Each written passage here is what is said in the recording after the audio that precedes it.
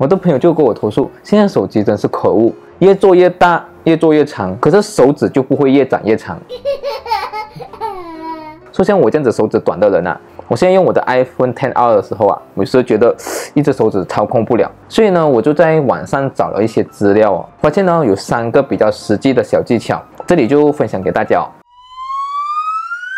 说大家好，我是三号，欢迎来到我的频道。如果你是第一次看到我的话呢，请容许我自我介绍哦，我是一个喜欢苹果产品的马来西亚 KOL。我的频道呢，主要 focus on 如何正确的使用 iPhone 和 MacBook。如果你对这一类的资讯感兴趣的话呢，也欢迎你订阅和关注深号 TV 吧。首先，我们到我们的 setting 前，然后我们再开启辅助功能。在辅助功能的下面呢，有一个叫做触控，然后呢，我们会看到一个叫做便携访问，所以我们先开启它先哦，所以我拉下来，它就会放下变成一半，所以如果我随便动的话呢，它就会恢复了。这是我的 iPhone 10R 哦，这个也就只只是只有在 iPhone 10之后才可以这样子做，之前的也是可以，只是它是用不同的方式。最好处就是，如果要点击上面的这些东西，你可以拉下来，然后再点。如果它是负的话呢，你基本上你很难打到最尾的那个 P 啊，或者是 Q 这些。这个我觉得 iPhone 的 Note 这边做，所以你可以在其他所有的要用 Keyboard 的地方做也可以。所以你就可以看到这个地球，小小粒的地球，你按九九，然后下面就有三个东西可以给你选。如果你现在用的是右手，你就选箭头指过去的那个地方；如果你是选择左手的话，就箭头指去另外一个的地方。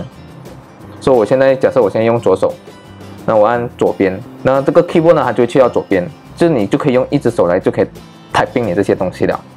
当然，如果你要把它变成 full keyboard 的话，你就要按回这一个最旁边的这一个东西过去的箭头，你按一下，它就会变成原本的样子。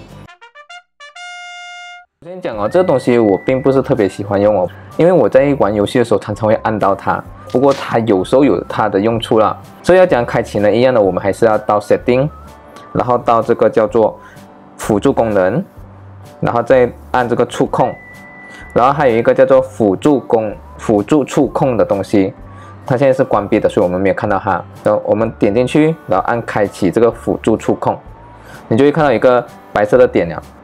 现在可以移来移去，它不过它只可以在旁这个周围的框框罢了。我最常用的东西啊，就是截图。为什么呢？因为我们截图的时候需要两只手这样子按左左右这边上下按。可是如果哦，我我还可以做一个 setting，就是点击两下，它就帮我截图了。如何做呢？其实你可以看到还有个自定操作，这里大家都可以以自己想要的那个方式来做。我通常会是，呃，轻点两下，这边我就会选截屏。当然这边还有很多其他的，大家可以自己去找自己想要的。也有一个就是要长按，就是按九九过后会有什么样的东西。现在我没有做 setting 嘛，好像假设长按我是 Siri，是我长按的话，它就会把 Siri 叫出来。就大家可以用自己的方式来做啊。I found this on the web. OK，OK，不需要你的。好了，以上就是我跟你分享的三个使用的小技巧。我相信啊，你一定还有其他的更加好的小技巧。那么欢迎你留言告诉我啦。影片的最后我还是 advise 大家了，你不可以长时间的使用你的拇指来控制这个电话，因为我看过一个医疗报告，就是说你长时间使用的话呢，你的这个手拇指的筋啊，其实会被拉伤的，而严重的话呢是痛而已。轻的话呢，可能是酸痛；严重的话呢，是需要做手术的。所以这里奉劝大家，还是尽量使用两只手，或者是让它常常休息。说如果以上的影片对你有所帮助的话呢，欢迎你给我个赞，也分享给你的朋友，也许他们刚好需要这样子的资讯。如果你对使用 iPhone 或者是 MacBook 上面有遇到什么问题的话，欢迎你留言告诉我，我们一起讨论哦。那么我是申浩，我们下个影片再见，拜拜。